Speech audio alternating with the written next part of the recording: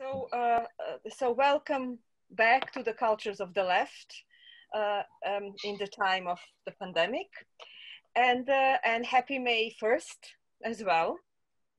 And uh, uh, uh, I just I'm, I'm, going to say that my name is Silvia Jestrovic, and joining us today on May first for for dialogues on the cultures of the left in in in the circumstances of pandemic are um, our comrades Vishnu Priya Dutt and Amit Parameswaran from New Delhi, from JNU, from the School of Arts and Aesthetics. Um, Emine Fişek from the Department of Western Languages and Literatures. I did my homework, as you can see, uh, from uh, um, uh, Bogazici University in Istanbul. Istanbul, did I pronounce this well? Maybe no. Yeah, yeah. Yeah. Olivera Jokic from the City University of New York. Um, author and scholar Igor Štiks from the Department of uh, Critical Political Studies at the Faculty of Media and Communication in Belgrade, and uh, my fellow Warwick colleague and a longtime collaborator on this project, Milija Gluhovic of the uh, Theater and Performance Studies, University of Warwick. So uh, here we are all, right? I haven't missed anyone, no? And uh, we had kind of uh, in our uh, uh, conversation about how to do this, we have decided to uh, share three articles that might inspire our further reflections on, on, the, on the situation we are in. Um, and, and also I'm pleased to, to, to say that actually we are going to think about this from very different geographical directions, which might make it interesting. The articles we chose to read was uh, Slavoj Žižek's Barbarism with a Human Face, Judith Butler's Human Traces on the Surfaces of the World, and Arundhati Roy's The Pandemic is a Portal. So uh, the, the, the idea was to start with these articles and then, and then offer reflections wherever, wherever they take us and, they, and, and to use them as a point of departure as much or as little as, as we want or as we need. So uh, I like to start us off uh, with, a, with a question and, and feel free to then venture into your own reflection on whatever grabs you uh, or, or, in these articles or in the situation you're facing or anything. But since it's, it's May the 1st, uh, reading Butler's text, I was struck with, with some of her emphasis on the figure of the worker.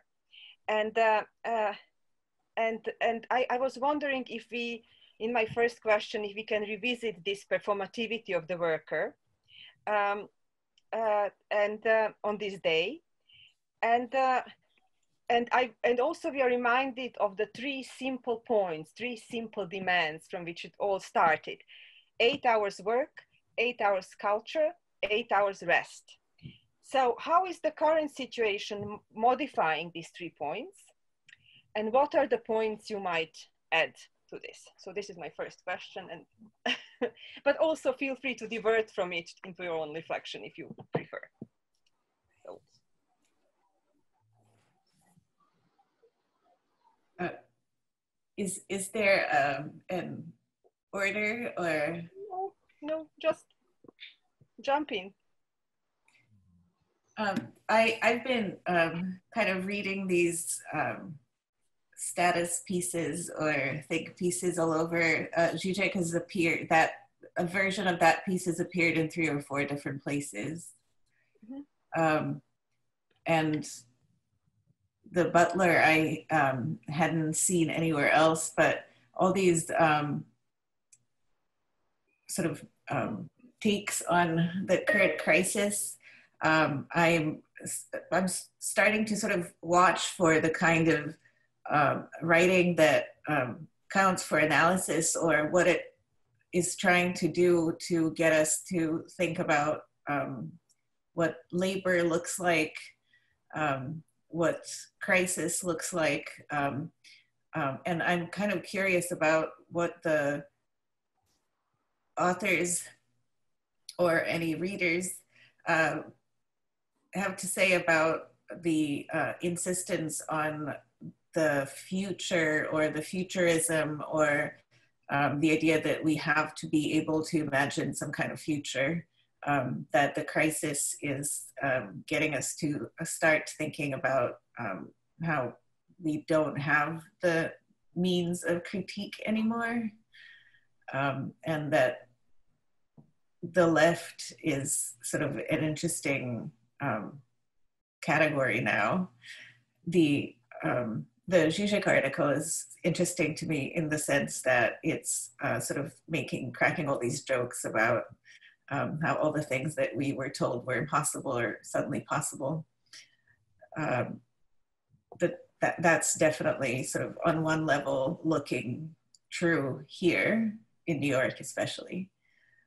Um, that all kinds of things are becoming sort of available or payable, um, but that it's not clear um, at what cost um, that there's a lot of war rhetoric in place um, that the government is sort of securing the survival of institutions, but that it's unclear what the institutions are um, and who gets to work for them, who gets to maintain them.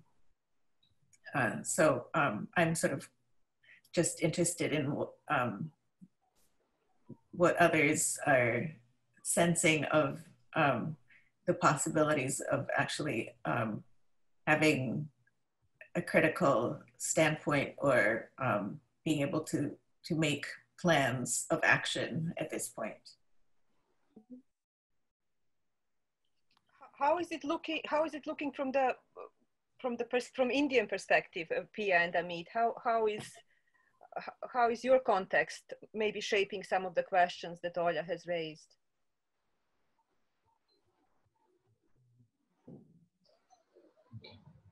You want to go more, or should I? Huh? Yeah. I'll just uh, just a quick response in terms of uh, things are unfolding, uh, I guess, uh, as we are speaking also. Uh, but in terms of the state responses, one of the things that has been striking, uh, and a lot of things have been even Zizek, I think, mentions, or you know, there is a possibility. There's always an utopian or a dystopian possibility unfolding, whether it's disaster capitalism, which might follow from what we are seeing now.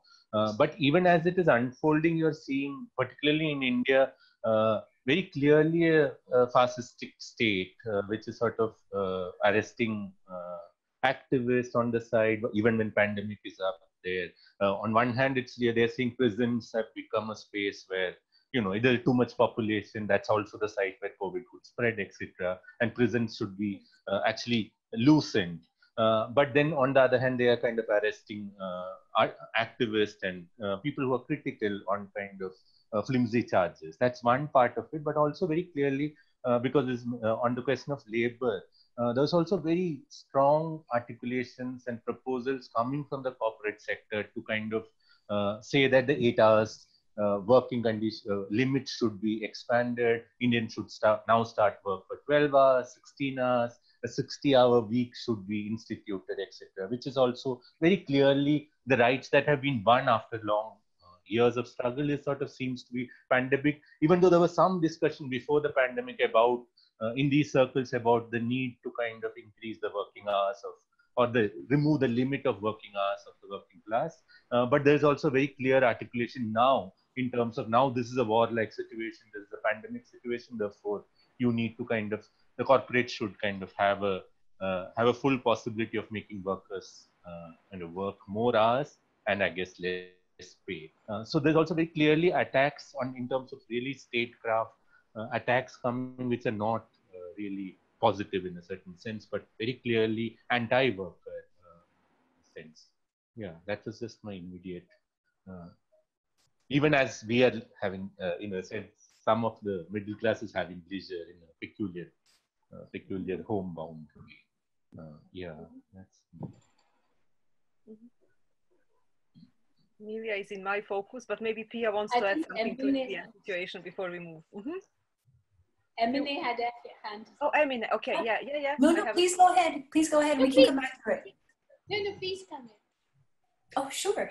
Um, yeah, I was thinking about saying something in response to, to Olivera's comment. Now I'm thinking about uh, what Amit was just saying um, and speak, thinking of the, the, the kind of the performativity of the worker earlier today. Um, the collective that heads one of the the, the kind of biggest uh, trade unions in the um, in the country. They tried to lay a, a wreath at a monument uh, in a very kind of central square in Istanbul, and this is a traditional kind of uh, May first commemoration, and it's also equally traditional that the the police interrupt.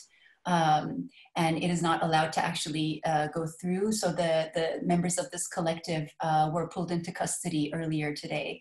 Um, and of course, you, you know, the logic that is used uh, is that this is a square that has been blocked off, um, like a lot, a lot, of public spaces out of concerns for public health. Mm-hmm. And the, the kind of deep irony of that is that, you know, um, the, the vast majority of workers in a whole variety of really large sectors of the economy continue to work in Turkey.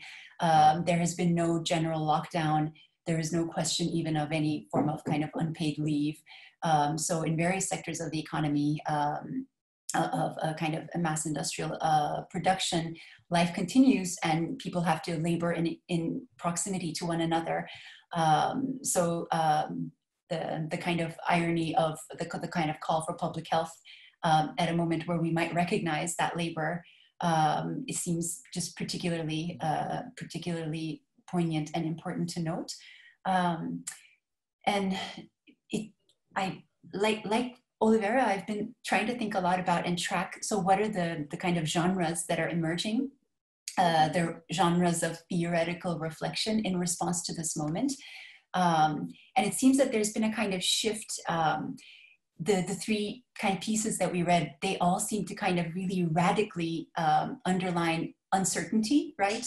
um, and the fact that we could see, as you mentioned earlier, like a, a, kind of you know a coronavirus disaster capitalism really emerging full force from this, uh, but that there might nonetheless also be new forms of social organization that are made possible as well, whose outcomes we can't fully predict either, um, and that right now we're kind of suspended in a kind of uncertain space for thought.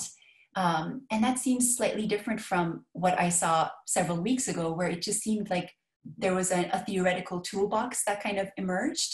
Um, and um, and I guess I'm thinking a little bit of Agamben as well, and some of his early comments, um, right? Um, so it seems like there, um, like the the mode, the genre is shifting. Uh, the vocabulary is, uh, it seems to be shifting towards what I don't know. Um, but but yeah, th- those are just some you know quick responses to to what the two of you have been saying.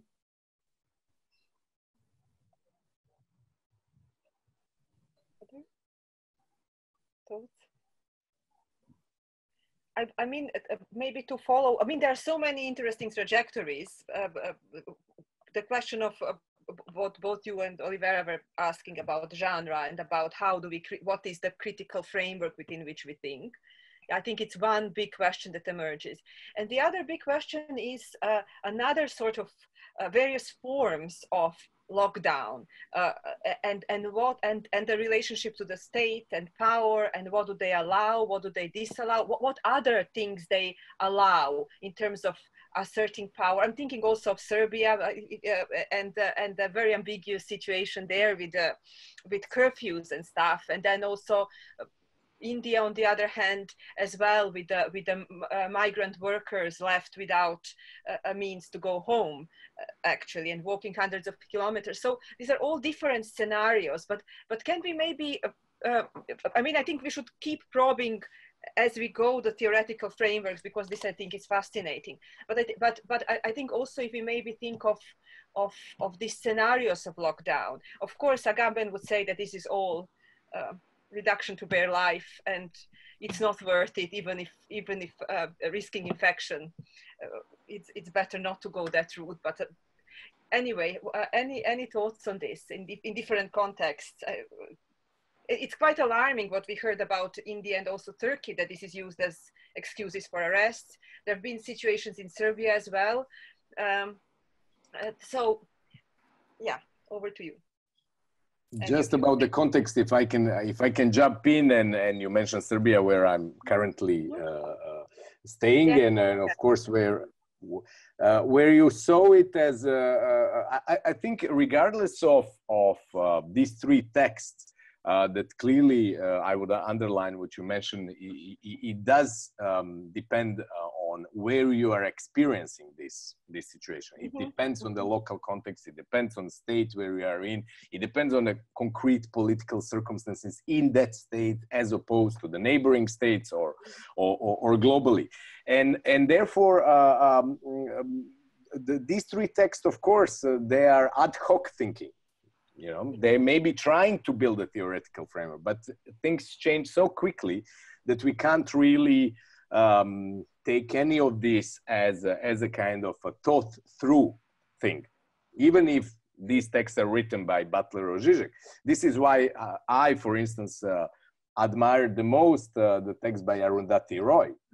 Because as a writer she could she could jump out of these uh, uh, um, imperative of building a theoretical framework and she could actually paint the picture. And she painted the picture very, very well and very suggestively um, what what we gonna do with uh, people like Zizek who actually published a book about pandemic yeah, that's you know? fast. That's really fast. That's really fast. I mean, on one hand, one admires it. On the other, you know, I, I'm not so sure. there. Yeah. It said somewhere that he had had it. He had had the essays done uh, before it actually started that he had been thinking about this because apparently the a pandemic was sort of the limit case of any kind of thinking about uh, global politics. So he was a man thinking ahead. I think he's capable of actually producing a book in a in a week. That's also so, likely. yeah, and the problem is, of course, he wrote it in March. We are now beginning of May. Things yeah. change rapidly, and uh, and of uh, uh, uh, um, of course, you know, Judith Butler writes what what what she usually writes, and she there is a moral call to to more solidarity, to bring out uh, this experience, and and of course we all agree with that. But we we also know that politics is not just a moral call that is directed to to any any of us uh, what, what can we do depends on the circumstances in which we are in, depends on, on, on, on society, not only on, on us actually doing something. And although many of us been involved in various movements, we often did this. We called friends, we started initiatives, and sometimes they were fruitful and sometimes we would be left disappointed because the context did not actually help you in, any, in, in any way. Also, we are having problems with now uh, on the left of, of using certain certain words like solidarity. It's a very important word, and we did a lot of work about about solidarity within our project. But now it becomes a bit of uh, thin air. What does it really mean to be? To, what is the global solidarity? So on, on one hand, there is limits of theory, and there is also the, the problem of, of reality that is now undermining all preconceptions. Um, and just to finish with this, when I said that the context does matter, of course, there are some encouraging signs. For instance, uh, it did backfire on, on, on, the, on the authorities here in Serbia, the, the, the, the, whole discourse, the lockdown, the uh, curfew, and so on. People are banging pots, and it became a mass movement over the last three days uh, against basically the dictatorship of, of uh, of a populist, uh, populist leader. Uh, they know very well that in a couple of months' time, things are going to be very nasty, socially and economically. And uh, they are trying to preemptively do everything to actually demobilize people by campaign of fear, control, and all these usual methods. But they are also very much afraid that this might backfire on, backfire on them. And uh, of course, they should be afraid. The problem is whether they are going to, to capitalize on this moment by simply claiming that actually they won the war. As you know, in many of these countries, they use yeah. the word war, even in France, you know. Yeah. And that they won the war with the big sacrifice of big leaders and, and that they are going to capitalize on a new national unity. And that would be a very, very dangerous, dangerous for, for us. And on, on, this, on this point, um, when it comes to the left, wherever we are, we are facing a, a pretty bizarre situation where many of the, the, the, the, the things we advocated for for last 20 years are adopted by right-wing governments. mm-hmm. investing into economy, into public health, and so on. How we are going to position within this change environment, uh, I'm not sure anyone has a clear answer. Mm-hmm. Yes, no, it's it's it's very interesting and very ambiguous in the sense that I'm thinking also about you're mentioning of solidarity and uh, and what does it mean and and then also we're talking about limits of theoretical uh, frameworks. Um, but it also seems that we are facing limits of, of action, so what we can do, uh, and uh, uh, which, which doesn't mean that we cannot do anything, but, but you know, uh, almost as if we need to rethink, redefine some forms of actions as well. So just thinking along that maybe we need to think of what are these forms of solidarity, what are they doing, on what level are they happening. Um, but anyway, any any other uh, maybe response? Yeah, can I come in? Yeah, absolutely. Uh, yeah, um, you know, it's um, what Igor was saying about you know Judith Butler. She's writing what she usually does, and um, you know, and um, taking off from there. And um, initially when you know this whole thing started and like amit said you know the middle class went into a sort of a leisure mode there was this idea that you know it's a um, economic crisis along with the health crisis. So those have to be resolved before you know we can come in or theater can come in or you know we can think of culture again. Otherwise it's too much of a luxury things are so precarious uh, until recently when we were asking people to send in, you know, their comments also for the cultures of the left, uh, Maria Delgado sent in a dispatch where important people in cinema and theater industry has been writing to the state in Spain about uh, what will you do to preserve, you know, the culture industry, the cinema, the theater. We account for so much of the GDP, but you know, you all are proud of us, you all use us, but actually this also shows that you all don't love us. I'm trying to look at Germany and France as the two examples. Um, but when I, you know, tried to uh, sort of think of the Indian condition, the Indian government has been a government which has actually spent the least on the crises. They've just given, according to uh, Prabhat Patnaik, only 0.47% of the GDP to the COVID crisis. So culture doesn't sort of uh, come into the whole thing. And um, it sort of, um, you know, raises a certain interesting question about, you know, that when everything gets restored, and I think uh, Olivera and Emine were both trying to sort of point out, um, and, you know, when this gets res- restored, it, there's a whole danger that, you know, it's a financial capital which will try to restore itself into a status quo. So it's a, you know, the already exploitative neoliberal system which is going to come back. And health is, of course, important for them. Health is being privatized, education is being privatized. So, um, you know, the whole financial capital and the sort of global neoliberalism has an investment in it. And in that way, um, you know, theater or the way theater operates in India in a more sort of amateur, unlike the cinema industry, which has a stake in this global financial capital, theater uh, will, you know, is always finding it difficult to cope with that. So how does it survive? The state has been taking away funding already. This is going to be really, you know, the sort of the last um, push they can give. They have an excuse for not sponsoring. It was always part of the national project and part of the protectionism of the nation, which of course is now going to be abandoned.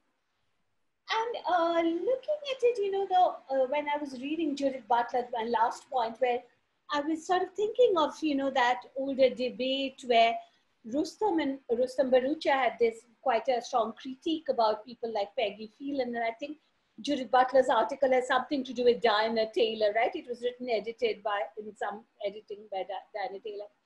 That there's a um, need to use uh, sort of, you know, performance studies vocabulary or a um, universalizing vocabulary for something which, um, you know, without taking into account the local.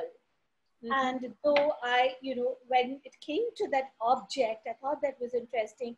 That mm-hmm. uh, you know, there was a tend to about the skin to skin, care to care in a country which has untouchability, where all this, you know, questions of purity, the hierarchies are going to be is being reinforced.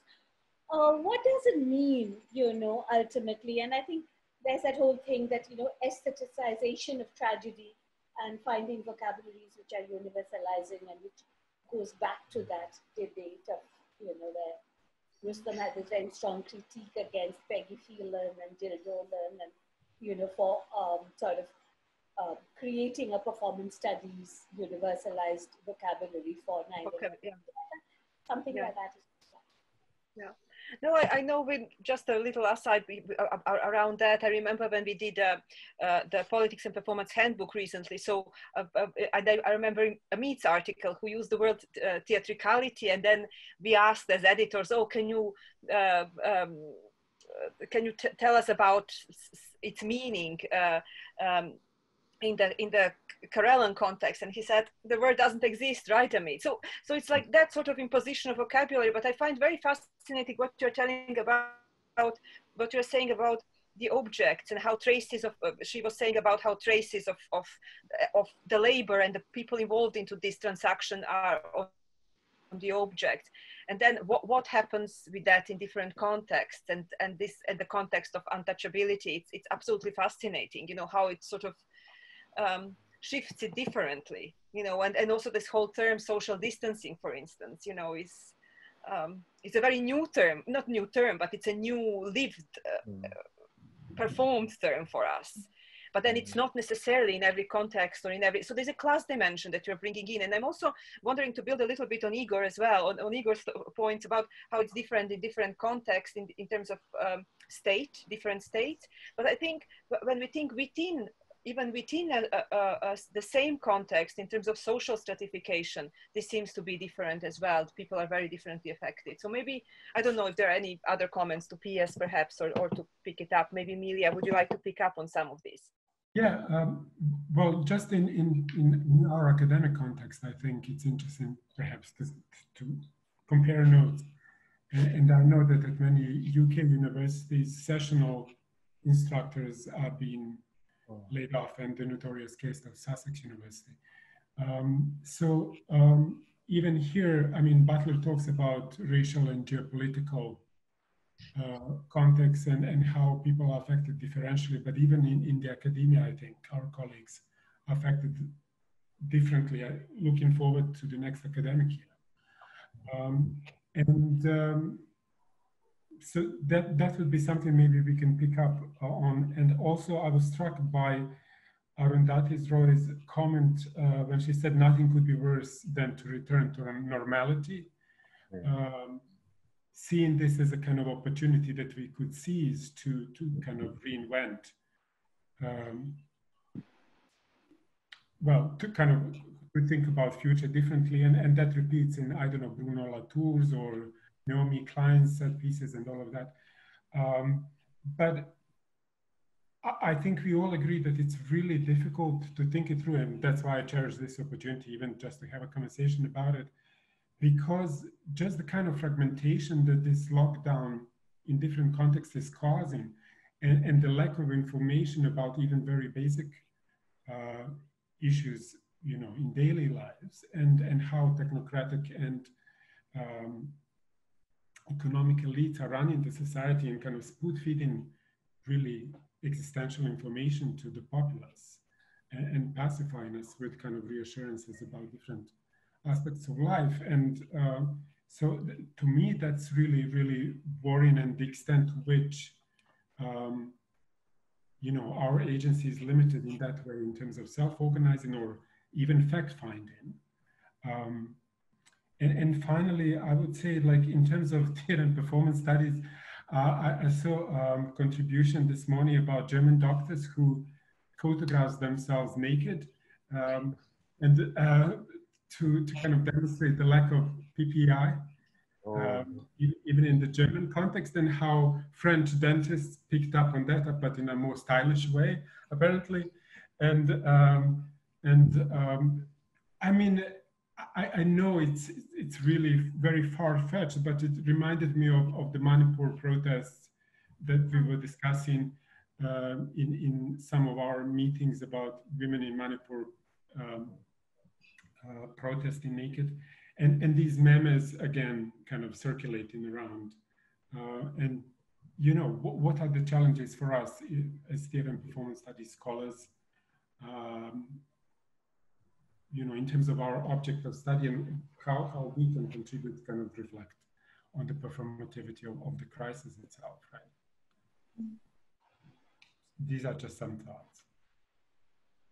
I was going to say I'm not a performance scholar, but um, I, I've been thinking about how the crisis will be an interesting um, object, or it will continue to be um, an interesting object of study, in part because um, of all the performing of concern and authentic feeling in public over the uh, confusions that I think everybody has been uh, mentioning that have to do with the roles of government and um, governmental bodies as the kinds of um, institutions concerned with public welfare and public health, um, and sort of the transition from disbelief or um, lack of interest in um, the virus as a kind of um, thing that actually reaches everyone and does affect public health and does become something that the state is interested in,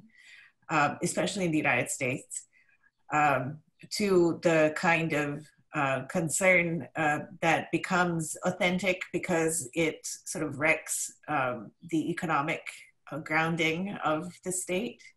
Um, and that um, in the US, it's uh, sort of these um, performative um, political actions are seem to be the sort of most recent development in the last couple of days. I don't know if you saw that um, the state um, um, house of in Michigan was invaded fundamentally by uh, an armed, armed militia um, people with semi-automatic weapons uh, were occupying um, the state house um, and basically threatening um, the governor if she doesn't uh, lift the protective measures um, on the grounds of their uh, rights and freedoms being infringed upon. And of course, um, there's the whole politics of wearing masks or not wearing masks, appearing in public uh, with or without one, um, the sort of um, performance of uh, belief or care uh, for other people's health. Um, uh, I, that to me uh, sounds like a, a great um, place to look um, for um, indications about what the new politics is going to look like but it's not only the memes um, and the, the, the, the naked doctors are sort of interesting in the sense that they're kind of taking it um, literally. Um, but that um, there's um, an ongoing discussion in this country about what is going to be the next step um, whether loosening the rules um, is the sort of thing that we can uh, tolerate, that the, public crisis is untenable. Um, and of course, there have been people who have been working uh, the entire time. so the, the relaxing of things and the sort of the semblance of some life and normalcy um, is um, sort of in the offing or it's being offered as some kind of um, release of political tension. Um, but it's unclear that um, we can go back to it because there's the conditions for it just don't exist. The unemployment rate apparently is over 20% in the US now. Mm. Um, because millions of people apply for unemployment every day and there's no small business running or virtually none.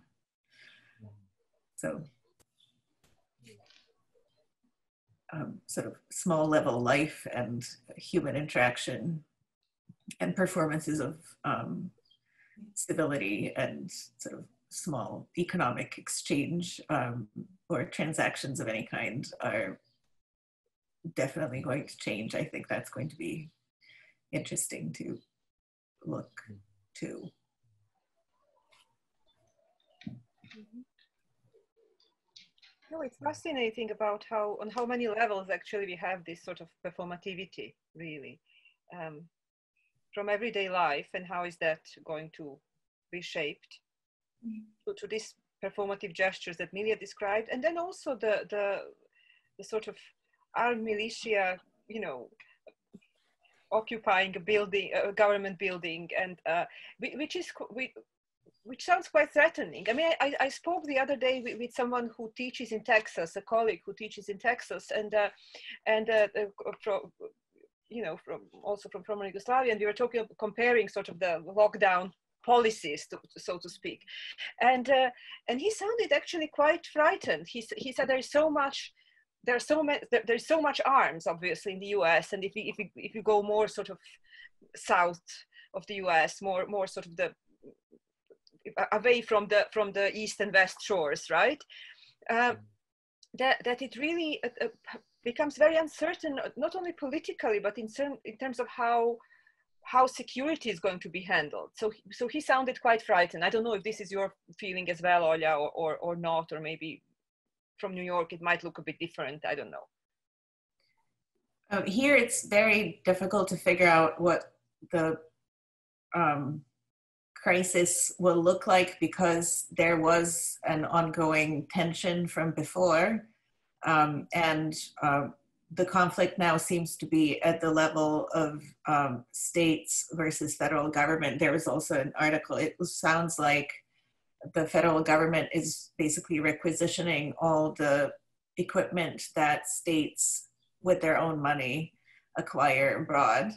Um, and um, that National Guards are being deployed to um, either sort of um, take away um, the equipment or to um, be to serve as guards as at the um, warehouses.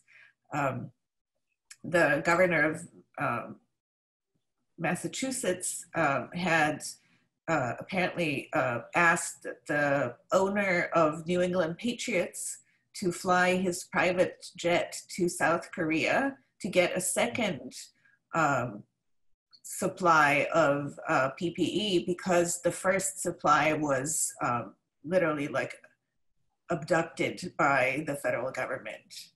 Hmm. Um, the federal government also sells these things rather than give them away. Um, uh, it's it's a um, it's kind of, to my mind, it's um, sort of playing out what I thought was going to happen, maybe in a different context. Uh, but uh, that what happened with the Trump election was that um, a small gang of thugs, um, in a way that reminds me of Serbia too, um, they uh, got um, their hands on uh, the tax revenue um, and the institutions of federal government. And they're basically sort of privatizing the entire state um, in various ways. Um, they already had most of their um, hands on the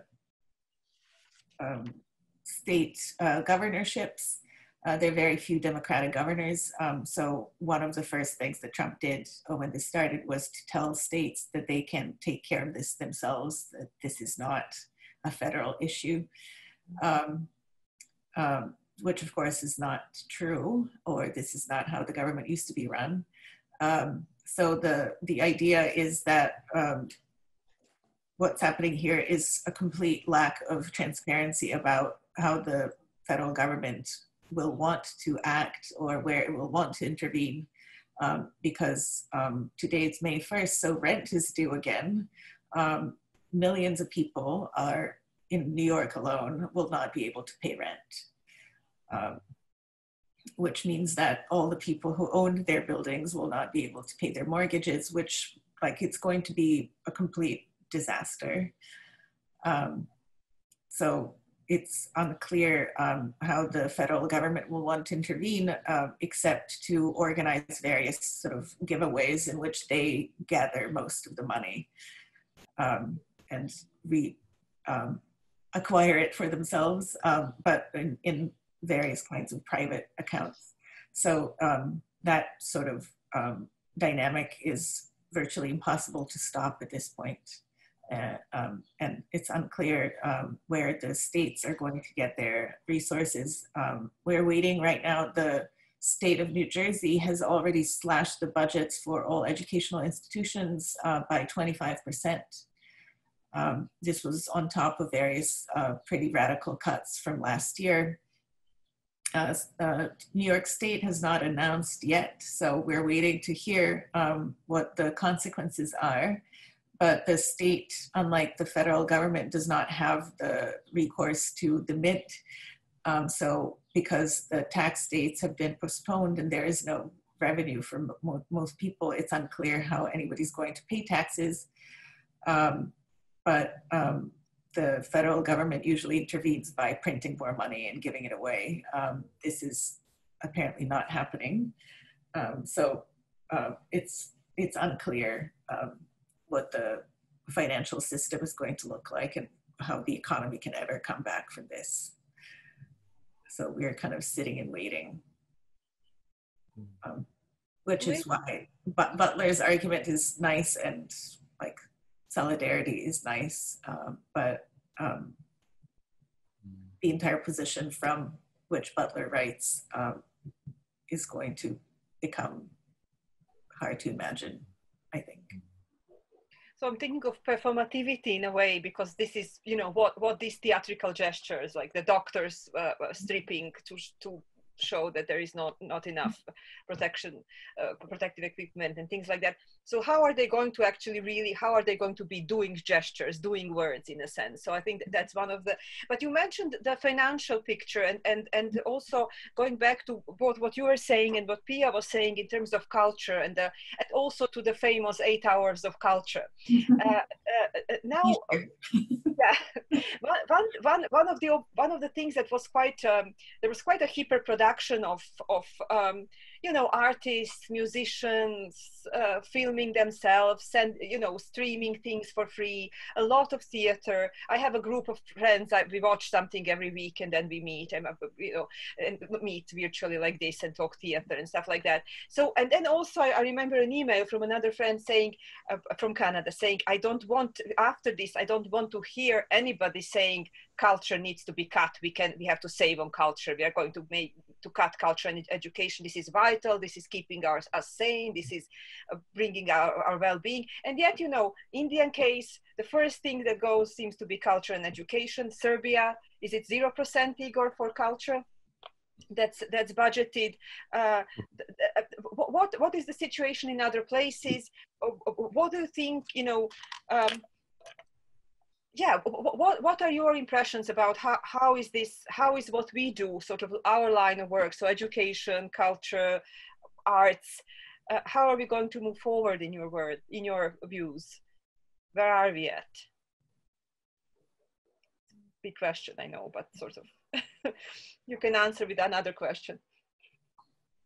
I have a kind of maybe roundabout path mm-hmm. to that question. Um, so one of the things that's coming out in a very strong way in, in everybody's comments is that obviously how how this is being experienced is really really embedded in the kind of ongoing political and economic catastrophes that are ailing all of these different contexts right? Um, and this is very much the same in turkey as well. And it very much resonates with the kind of uh, dynamics of conflict between local government and, and national government in turkey as well. Um, the, just to give but one example very early on local governments here intervened to kind of set up charitable networks. Uh, and that's a kind of key um, element in the kind of political lexicon of local government in Turkey historically, and something that ushered the AKP into power in the first place. Um, and then the national government uh, put that to, uh, brought that to a halt and said, absolutely not. There will be one piggy bank and it will be national. Um, and, and so those bank accounts were stopped. And then the whole idea of donating to the national piggy bank was surrounded by this language of kind of moral collectivity and community so that if you chose not to, um, then, then you were branded a traitor very quickly. So this language is not new in Turkey at all. It's building on almost a decade's worth of political organization at this point. So, and it seems like versions of this is, is happening in all of our contexts. Um, and I guess that brings me back to thinking about some of the points that were being made earlier about the theory that has been responding to this, that just as the kind of embeddedness of the corona crisis in existing political networks is inevitable, it just seems as though um, the fact that the voices that we're reading are their view of corona is embedded in theoretical investments that have been in place for decades, right? Um, and endowed fully and completely with, as you were mentioning earlier, their, their own blind spots, uh, their claims to universality, etc.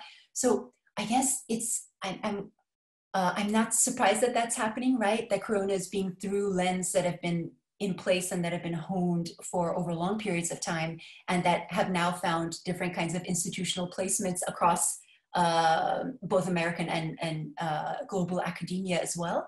So, so I, am still kind of thinking about something Igor said earlier about how Arundhati Roy's piece stands out here in part because it's doing something else. It's, uh, it's kind of pulling in a different kind of um, aesthetic language uh, and um, trying to do something else with that potentially so that um, we strive towards some kind of new language to uh, begin to understand a, a, a, new situation that perhaps these older frames, whether it be a kind of um, uh, Butlerian commitment to intersubjectivity or an Agamben commitment to biopolitics or whatever, uh, some of these will need to shift and change. Um, and I, I guess this is a roundabout answer to Sylvia, your question. I feel like likewise here as well, there's been all this kind of cultural production um, very little of it in terms of content has taken me off guard. Um, a lot of it comes out of existing political aesthetic commitments from very identifiable corners of the artistic spectrum in Turkey. I've loved them and enjoyed them, um, but I feel like they're kind of they're struggling very much to kind of survive right now and announce that they're still here. We haven't gone anywhere. Uh, and likewise, the financial strain is very strong in Turkey as well. So I can't help but think that some time will be necessary before potentially a new idiom uh, comes out of this and begins to grapple with our new reality.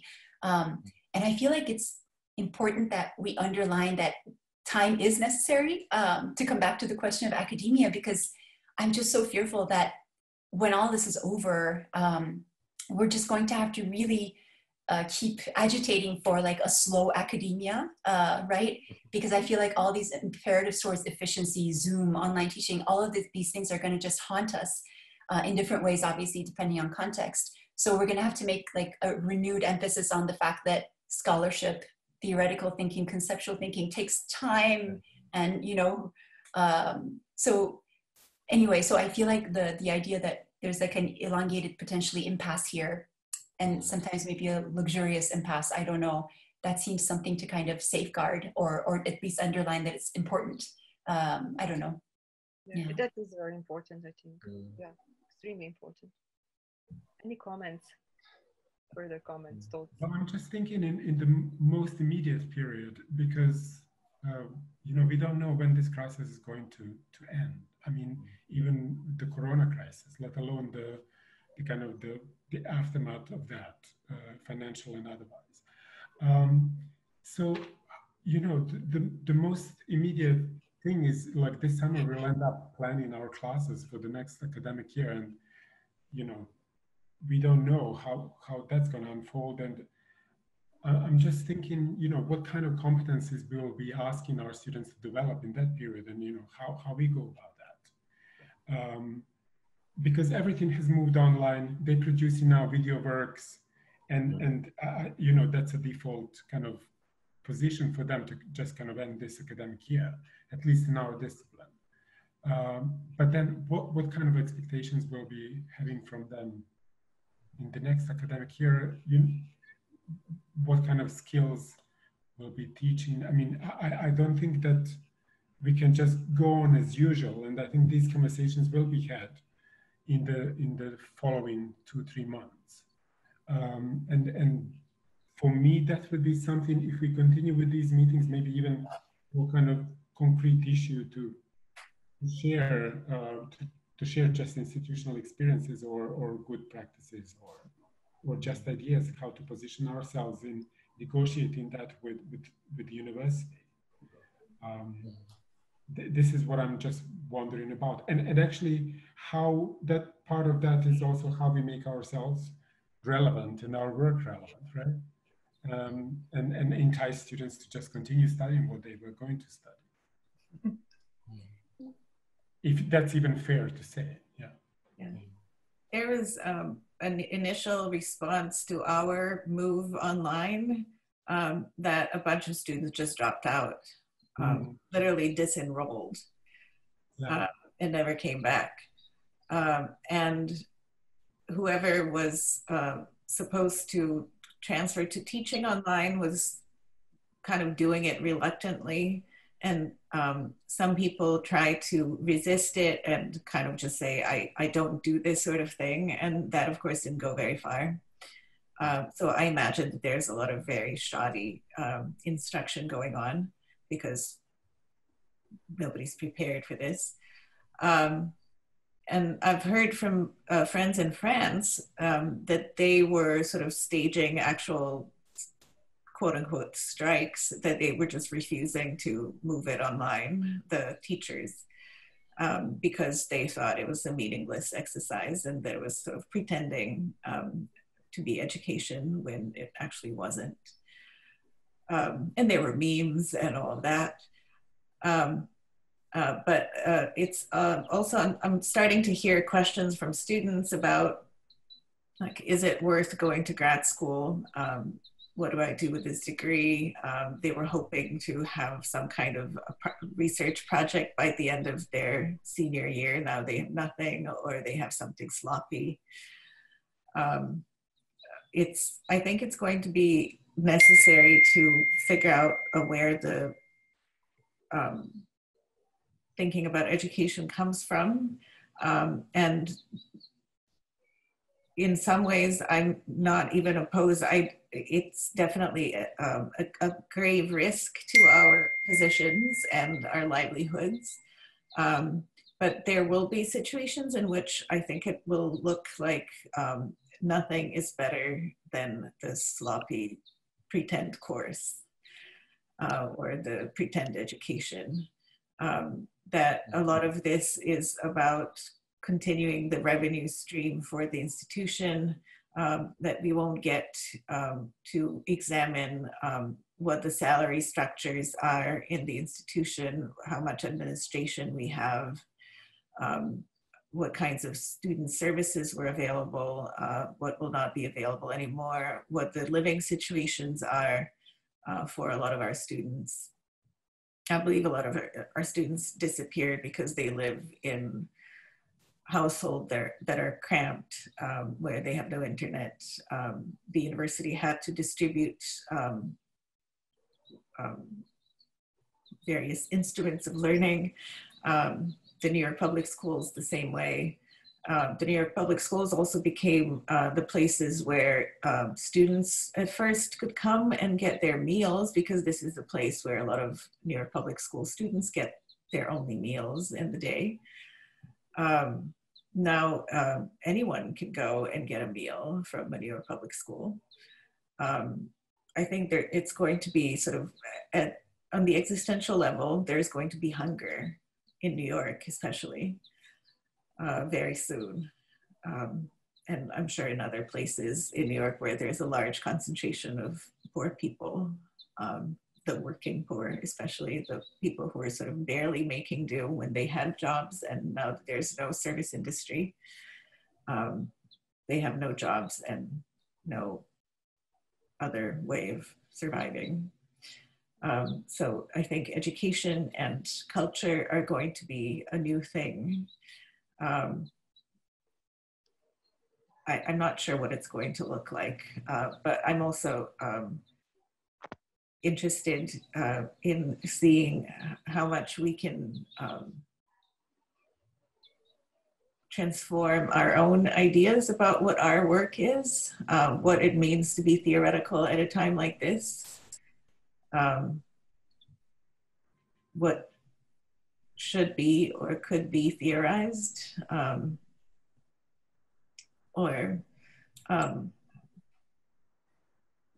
I'm not sure. I, I, I think it, right that um, some sort of um, patience for um, clar- for in the, in the name of clarity or um, figuring out what's going on um, is necessary, and also um, I don't think we're ever going back to anything. Um, um, it's all going to be new and new every day. Um, so a lot of watching for how it changes um, is what seems to me to be the next task. And yeah, I think also very interesting. This is almost like a new, to- our next topic emerging. Perhaps thinking about what would be a leftist pedagogy, or pedagogies in this context. Uh, uh, I'm mindful that we are kind of nearing the end of an hour. We can go on more if we want, but, but I'm just wondering that maybe to, to kind of round it up, if we sort of make a little bit of a, Pia, do you want to say something? Igor, Igor wanted to speak. Ah, Igor, come on, yeah. Uh, well, of course, uh, uh thank you, Olivera, for this update about the US and uh, um, uh, clearly the problem with the US and the UK is the, the entire structure of, of the ca capitalism you have there. So it's a total nervous breakdown. It's people losing jobs and they're, they're, they're, they're literally hungry. Now, we coming from different regions, being in this crisis for, I would say, last 40 years, which coincides with my life, which mm-hmm. is, and, and basically we could say, you know, since Tito died in that fateful year 1980, all all been downhill from crisis to another crisis, a bit up, then down, up, down, and so on and so on, which of course uh, uh taught us to, to live at various levels. Uh, uh, and uh, to live with the, with the little and nothing, and to live also comfortably with, with a bit more, and uh, this is this is where where these local differences will also play play a role. And of course this is not to downplay uh, the, the, the, the, dramatic situation we are going to face. We all know that the crisis usually lead to violence and so on. But uh, this is why maybe the response has been been also uh, quite quite different to this to this pandemic also at the, at the personal level uh, uh, mm. I, I, mean, we've been discussing over the last 10 years, uh, 20 or more, about the indebtedness of a regular American. So nobody did anything about it. Obama didn't do anything about it, as you know. So it's not only Trump, as many of our liberal friends would like to believe, uh, that everything was perfect before. It wasn't. And now we are going in the most, the richest country in the world, we are going to see hunger, we are going to see violence, we are going to see a, a, a complete social, social disorder. Uh, now, the problem is this is also the, the, the, the country where the left is not present. And where the only hope for the left was, of course, projected into one person, which was Bernie Sanders, and, and he did a wonderful job of rehabilitating some of the discourse that was legitimate in America, say 100 years ago. Yeah. And uh, uh, the, the, the, the problem with the left is also to then play the game of the system, which is a presidential election. It's a two-party system. It's not even a multi-party system. There is a problem with democracy in America, with capitalism in America. There is a problem with, with, with neoliberal dogma that managed to then be uh, of course, spread uh, uh, uh, across, across the world. And, and clearly, it would be very, very difficult now in, in, in the UK, but also the US, to actually pull out the traditions of the left and to inspire yourself with that. Because it's been, it's been so long. It's been gone for, four, for at least 40 years of the neoliberalism, but in America, uh, even more. And the only thing we could hope for at the universities and, and in culture is that there will be a new deal, which means that as a part of a social, uh, um, social help and social care, uh, the state will pay our salaries and will employ artists and, and, and, and, and writers as, as it was done during the New Deal time. And it will be a type of a social aid. So we can only hope for that, that they are smart enough to say, look, uh, all these unemployed young people, put them to universities, give them small stipends, pay these teachers, doesn't matter, let's do another massification of the higher education just to move them from the streets. But for that, we would need a completely different thinking about what, what is the social state and what is a new social contract. And that does not work well with, with neoliberalism that for me now reach its death, but it doesn't mean that it can't live on. It's a zombie that will that will live on, as we can see. The ideas. Hmm? Yeah, exactly. So so basically, I, I think we are going to face a very confusing situation, also for for for for scholarship. I mean, you know, in the UK, also I worked there. Uh, what panic was about the the the, the ref and, and who is going to judge our output now and so on. Everything was just revolving around that. Not to uh, uh, mention the metrics. Did you publish here or there? Is it three points or five points, which been used in continental Europe? I mean, that's all, all gone. And whoever believes and want to keep this system is, is crazy. But we, there will be a, a total confusion over, over next couple of years. And it is a portal. I mean, certain things must happen over the next two or three years uh, that will define the decades to come. But are we, go, are we going with our ideals and with our uh, traditions of the left and, and, and um, uh, the ideas how we see society, are we going to define this? Well, there clearly I'm, I'm quite cautious, although I, I have to remain optimistic.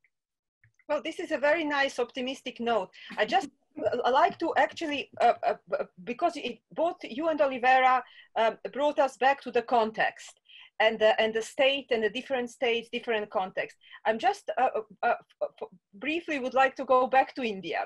And I was thinking as the crisis was unfolding, there is Modi's India. And then I was reading, uh, this is my superficial reading from far away, uh, about Kerala that we, some of us had the pleasure to visit and enjoy uh, with our left projects, not just on holiday. Um, that that that Kerala was handling it, the only sort of left state that is left in India. It looks, it, yeah, was handling it differently, was handling it better. So. Uh, uh, uh, uh it seems to me that we are starting. So, is my was my reading okay? I'm asking my Indian colleagues, but also, you know, do we see now a correlation between, you know, um, the kind of states uh, right or you know whether whether we are sort of left central or right and the way the crisis is handled. So so have the, the overall do can we say that perhaps those that are more sort of left cent, center left or left have handled it better than than the right wingers we we have? Or is it too too blank of a statement Amit has to come in. It's his end. Amit has to come in about Kerala. Just, you, quick, uh, just a quick response in the sense that it's also May 1st. Uh, it's also happy that you know Kerala does not have a fresh case today. From today on, I guess today we don't have a fresh case, so so that's a real, real positive in a certain sense. And it's May 1st, so it's quite nice. Uh, because it kind of goes back to a lot of struggles that have, I, I guess left played a huge part in that in terms of really having a very good medical uh, facilities, healthcare uh, being a premium in the state all the time. and also very clearly that, you know, really wonderful statecraft. Uh, the teacher, who was the health minister, she has been kind of really, really up, you know, right from the first case in India was uh, in Kerala from students from China, from Wuhan who had come. Uh, and so it was kind of really Kerala was the place where it started in India. And now it's almost like, you know, at least they claim it, they flattened the curve, etc. Uh, so that it does. So it was very interesting to think about. So on one hand, we think of uneven development, uh, which is kind of really critical, critical when we think about uh, way capitalism functions. Uh, but also there is, seems to be uneven uh, in terms of welfare. That it does not uneven development is not folding onto uneven, uh, you know, social development in a certain sense, and that in crisis like pandemic or floods, which Kerala went through the year after we kind of landed up. So Kerala had Nipah, then it had two years of flood, and now this one.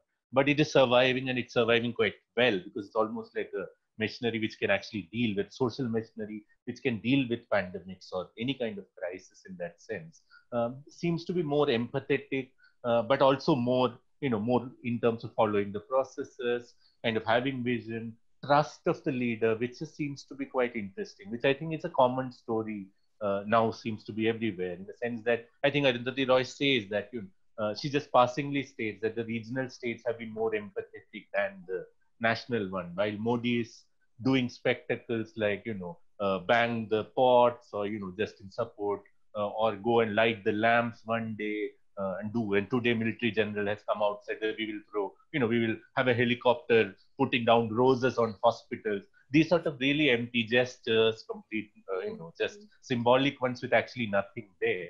Uh, but the regional states have been much more uh, on the job, at least more caring, humane, and empathetic in the responses. And I think there is something about the statecraft. Uh, definitely, the left legacy of having having things in place, which is some claims, some rights of people, uh, is kind of really making a difference, and also kind of really just having someone can kind of compare with New Zealand and other places. So, is it social welfare state? Is there something of those uh, more democratic in I guess, in, in spirit, which allows you to be more empathetic to deal with a pandemic lockdown, I suppose. Yeah. So that was just a mm. I yeah, I think it's it's a maybe uh, a good uh, way to end the political aspect of it with Igor's New Deal and with Amit's, uh, uh, did you say social machinery that can heal itself, that can heal, heal itself? yeah, at least, yeah, in a certain that, that's Very, that's very nice. I think we need, we need that. Um, uh, any any final thoughts any anything else and i have a little final question for everyone after that after that but if anyone wants to have any response to I, I just I keep thinking uh, now that Amit has said these things about uh, dropping flowers on roofs of hospitals.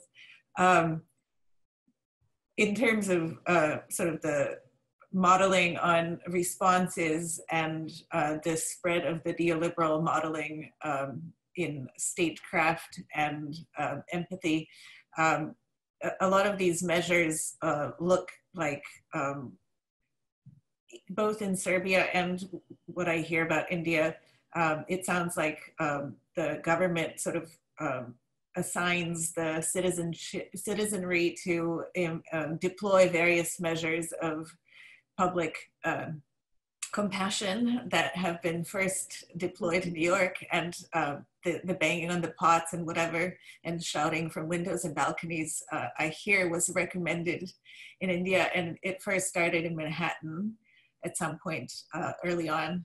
Um, and I live in Brooklyn, east of Prospect Park, in what's historically a Black neighborhood. Uh, and in my building live a lot of nurses. And so when somebody started or tried to do this early on, uh, somebody came out of the window in my building and said, shut the fuck up.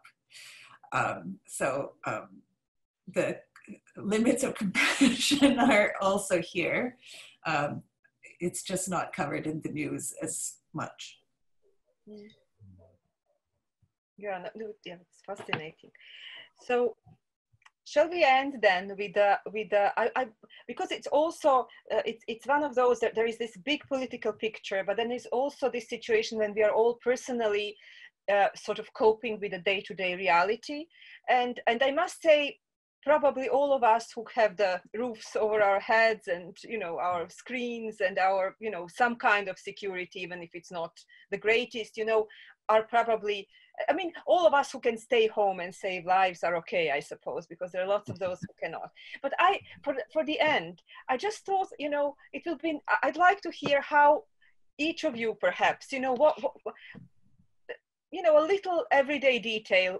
How are you coping? What are you doing? It can be from intellectual and political pursuits to baking anything. So i just want to have a glimpse and i think we all enjoy some glimpses into into your lockdown life.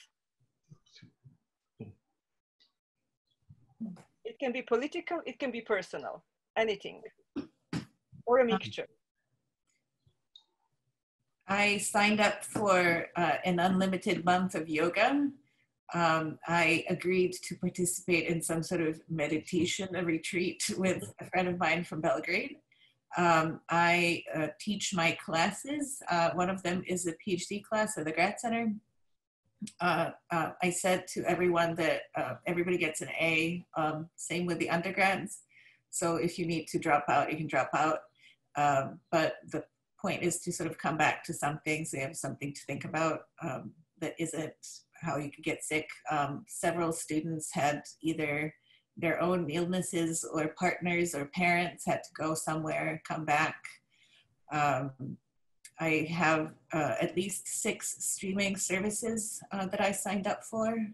Um, four from before, two new ones. I watch something for hours every single day. Not great. Um, I read more and then I didn't. Um, and uh, I was going to send you, um, I have, I bought some masks yesterday that I wanted to recommend in case people were into it. Uh, let me just find the link. Uh, okay. Send it to us. That would be yeah, yeah, I will as well.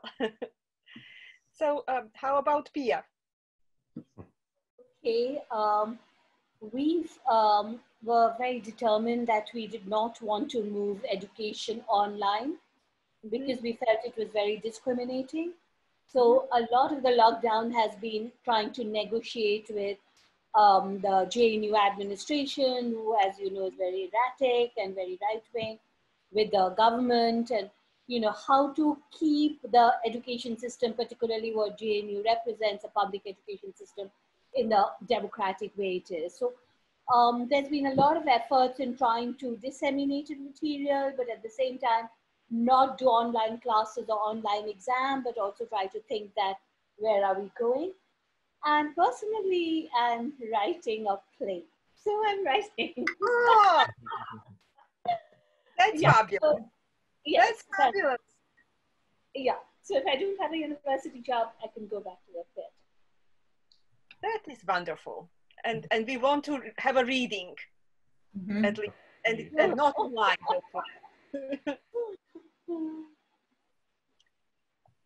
Milija, your silver lining of the lockdown? Well, I, I, I think we will all agree that this lockdown affects differentially single people. But, uh, aside.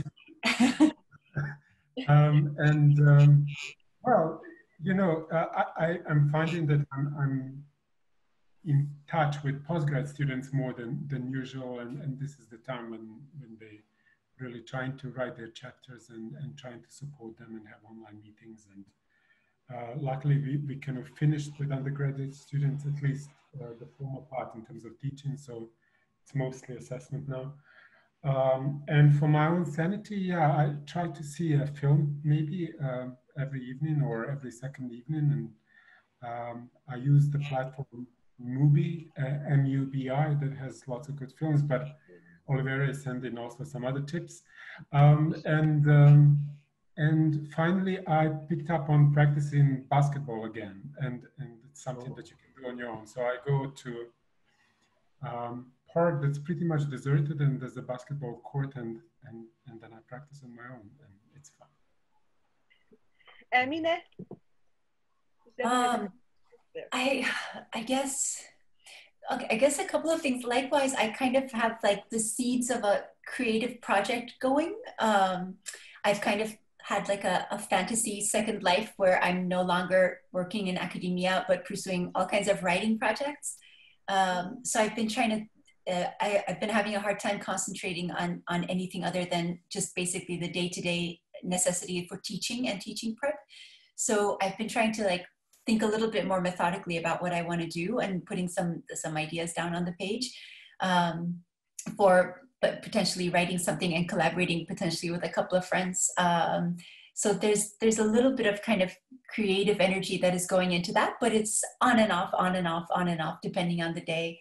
Um, but overall, this has been um, like a, I a large part of my adult life I lived in the US and I still have a lot of friends there. And it's not always very easy for us to keep in touch because of the time difference. Uh, and with the usual kind of uh, rush of everyday life, we have difficulty coordinating hours.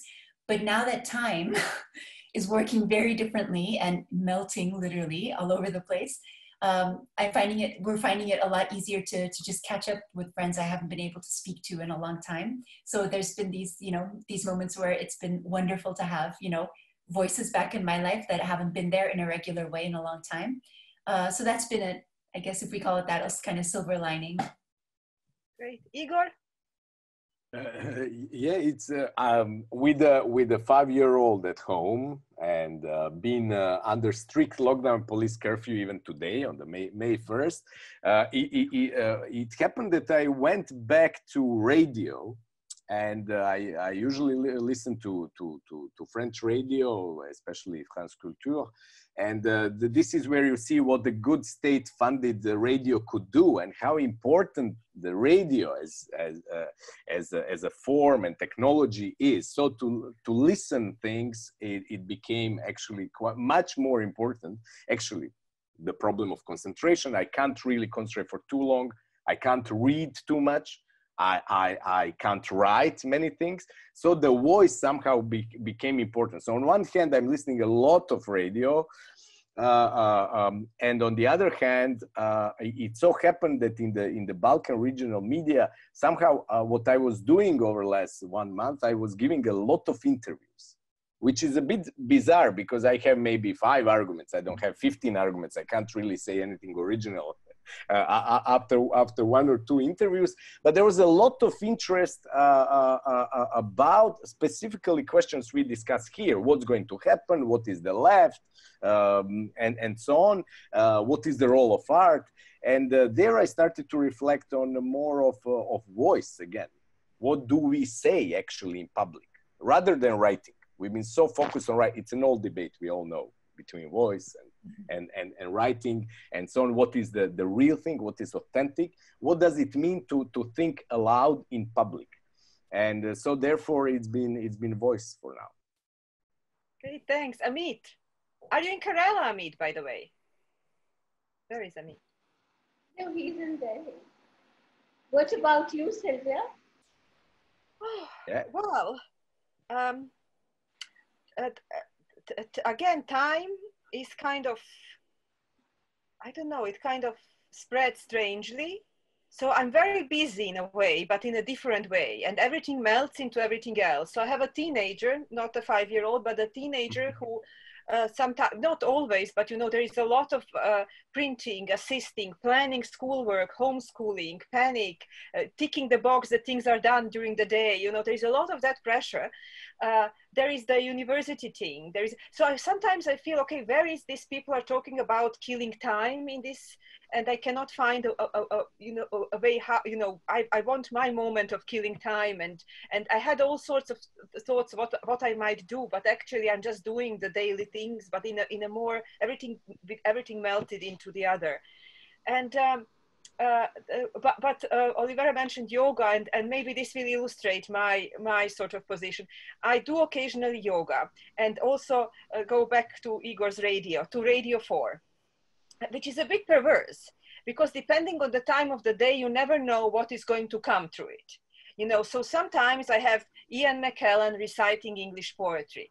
Fair enough. Other times I have the news uh, reporting on, on, the latest death toll uh, of COVID uh, uh, patients, the chronic and criminal lack of equipment for the medics, and so on. So I think that kind of illustrates my, my things. And I walk. I, I walk around the area. There are lots of fields nearby, so that's a bit of a saving grace. Yeah. so that's that's that. Um, I thank and you. Amit, Amit. Amit. I just keep, sorry, I, my internet had gone off. Sorry. Ah, ah, are you back? So how, what is your, are you in Kerala, Amit? Or in, in, in uh, No, Delhi? in Delhi, unfortunately. Yeah. So what is your Yeah. silver lining? Give us your silver lining for the end. Uh, nothing cooking and cleaning and some reading. I'm thinking. And Whenever Yeah. after he's thinking. I'm And- thinking. reducing reducing smoking that is a silver lining. Okay.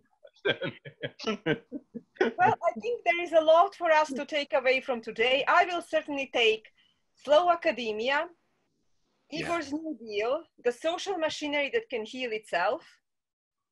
I think that's enough for May 1st. And I'm considering moving to Kerala. that's a fantasy, a lockdown fantasy. Yeah.